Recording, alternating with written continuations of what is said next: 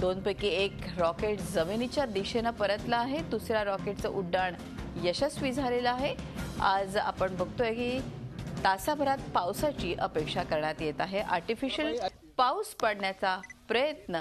येवला इथे सुरू आहे. अधिक माहिती. चंदन कोळस आपले प्रतिनिधी आपल्या बरोबर आहे. चंदन आपण बघतोय अर्थातच हा चेतन दोनपैकी एक रॉकेट जमिनीच्या दिशेनं आलाय मात्र एक रॉकेटचं यशस्वी उड्डाण झालंय. किती वेळात पाऊस येऊ शकतो? काय अंदाज वर्तवलाय शास्त्रज्ञांनी? शास्त्रज्ञांनी दिलेली माहिती अशी आहे हे रॉकेट आकाशात जाऊन स्फोट होणार त्याच्यानंतर म्हणजे फवारणी होणार ढगांवर. ढगांवर फवारणी झाल्यानंतर एक तासानंतर तो पाऊस पडणार. आणि आतापर्यंत दहा रॉकेट त्यांनी आणलेले आहे. त्यापैकी पाच ते वापरणार आहे पाच जर गरज पडली तर पाच वापरणार आहे त्यापैकी आता दोनचा वापर करण्यात आलेला आहे. एक रॉकेट यशस्वीपणे आकाशात गेलेलं आहे. एक रॉकेट उलट्या दिशेने परत जमिनीवर आलेलं आहे.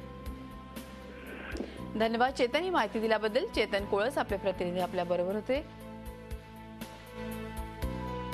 चेतन तुम्ही आमच्या बरोबर आहात का? एक प्रश्न आपल्याला विचारायचा होता.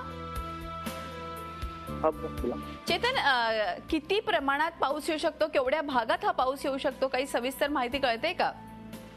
हा जो पाऊस शास्त्रज्ञांनी दिलेल्या माहितीनुसार हा पाऊस वीस बाय वीस किलोमीटर या भागात हा पाऊस पडू शकतो.